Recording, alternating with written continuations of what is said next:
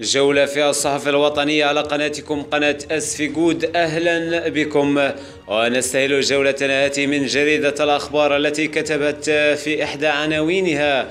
البداوي يطلق صفقة الإنارة ب 235 مليونا بعدما ألغاها وأغرق أسفي في الظلام. في خطوة مناقضة لقرار سابق وأن اتخذه أطلق عبد الجليل البداوي عمدة أسفي عن حزب العدالة والتنمية.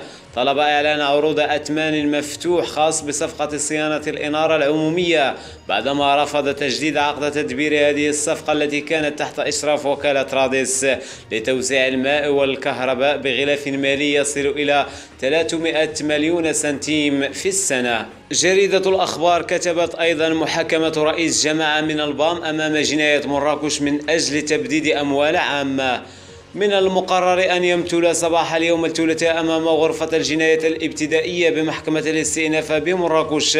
عبد الرحيم الكامل المستشار البرلماني عن حزب الأصالة والمعاصرة ورئيس الجماعة القروية واحد سيدي إبراهيم بضواحي مراكش وذلك بعد متابعته رفقة مقاولين من أجل جنايتي تبديد أموال عامة والمشاركة في تلقي فائدة. جريدة الأخبار كتبت أيضا التحقيق في اختلالات والتحرش بمعهد التكنولوجيا التطبيقية بالسراغنة علمت الأخبار من مصادر مطلعة أن لجنة تفتيش مركزية حلت الأسبوع الماضي بمعهد التكنولوجيا التطبيقية بمدينة قلعة سراغنة وذلك في أعقاب توصل الإدارة المركزية لمكتب التكوين المهني وإنعاش الشغل برسالة مجهولة تؤكد وجود اختلالات تدبيرية وتحرش جنسي بطالبات متدربات.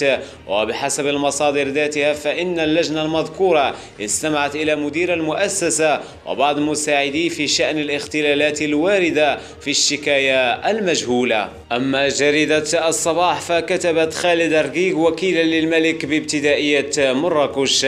جرى أخيرا تنصيب خالد رقيق وكيل الملك بالمحكمة الابتدائية بورزازات سابقا. في منصب وكيل الملك بالمحكمة الابتدائية بمراكش خلفا لعبد الحق النعام الذي عين محاميا عاما. لدى محكمة النقد في إطار الحركة الانتقالية التي قام بها المجلس الأعلى للسلطة القضائية خلال اجتماع دورته الأخيرة. إلى جريدة المساء والتي كتبت اعتقال سائق ومساعده وحجز سبعة أطنان من الملابس المهربة بقلعة سراغنا. ضبطت دورية العناصر الدرك الملكية التابعة للمركز الترابي بقلعة سراغنا مجموعة من السلع المهربة على متن شاحنة كانت تسير بجوار ساقية زرابة قادمة من الطريق الرابطة لجماعة المربوح.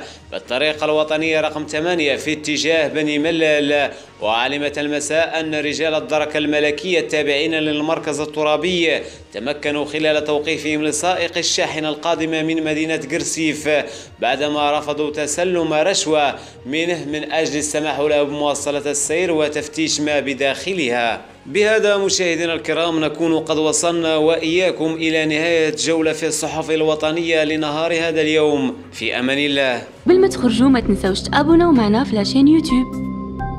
و partageيو المواد في مواقع التواصل الاجتماعي. وما تنسوش ديروا j'aime.